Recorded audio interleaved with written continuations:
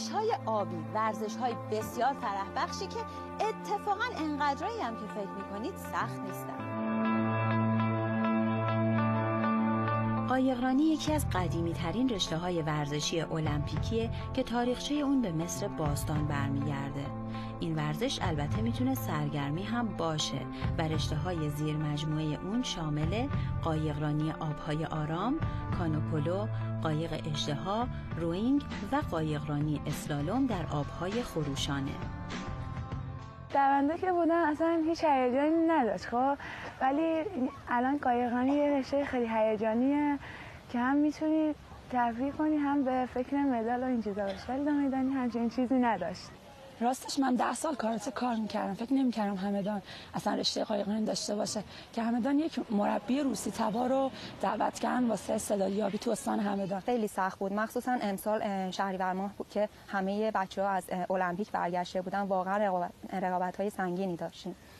توی همه ماده ولی تونستیم با پشتکار خودمون تلاشامون مقامای خوبی به دست بیاریم مدالای رنگارنگی به دست بیاریم.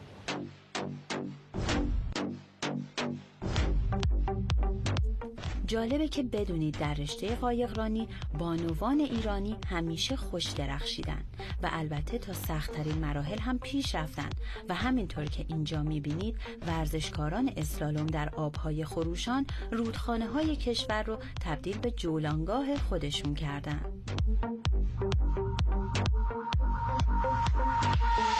ما در سال گذشته در حدوداً سه تا کاپ جهانی شرکت کردیم.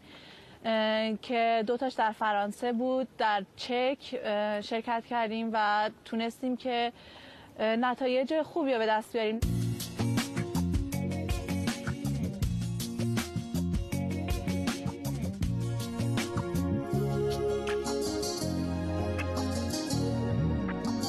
هیجان تو این رشته خیلی بالاست چون که شما تصور اینو بکنید که آبهای خروشان موجهای بلند یا اینکه از یه سطح ارتفاع یا در آب تغییر می‌کنه پس هیجان خیلی بالایی داره.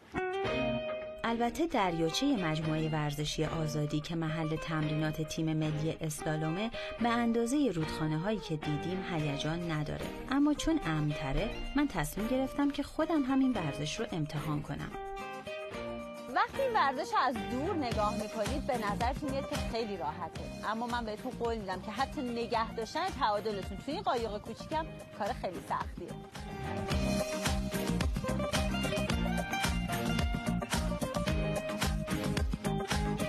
اسلالوم یکی از رشته های خیلی پرطرفدار توی المپیک هستش. و خوشبختانه ایران هم در این زمینه فعالیت کرده بوده در قبل و مجددا هم چند سالی که فعالیتش آغاز کرده چه اسلالوم در آبهای آرام و چه اسلالوم در آبهای خروشان. و من فکر می‌کنم خیلی زود یکی از قطبهای قوی این رشته در آسیا خواهد شد. قایقرانی اسلالوم تنها رشته ورزشی آبهای خروشان المپیکه. بنابراین آقایون جوان هم از قافل عقب نموندن و برای کسب مدال در المپیک 2020 توکیو از همین الان خودشون رو آماده می‌کنن.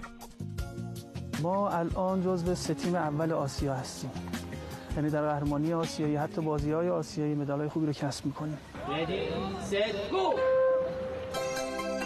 در ورزش قایقرانی مهارت و قدرت بدنی و البته کار گروهی حرف اصلی رو می‌زنن. اگر فکر می‌کنید که سرمای زمستون به معنی تعطیلی این تمرینات کاملا در اشتباهید.